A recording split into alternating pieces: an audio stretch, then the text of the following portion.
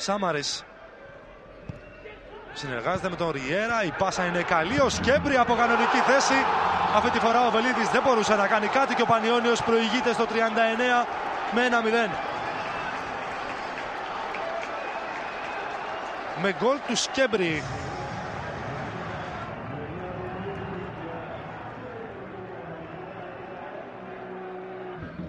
Ριέρα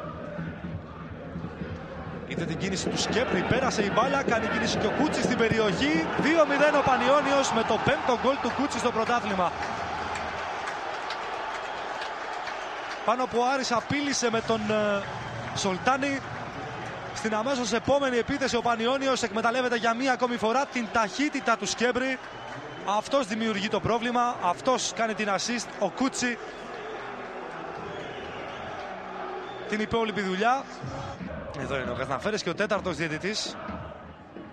Ο κύριος Τηλιάρας που του λέει να βγει έξω από τη γραμμή.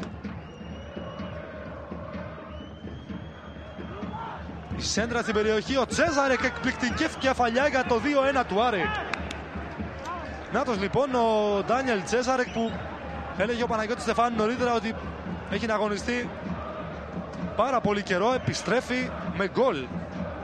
Και με μια πολύ ωραία κεφαλιά, δύσκολη κεφαλιά, για να μειώσει για τον Άρη.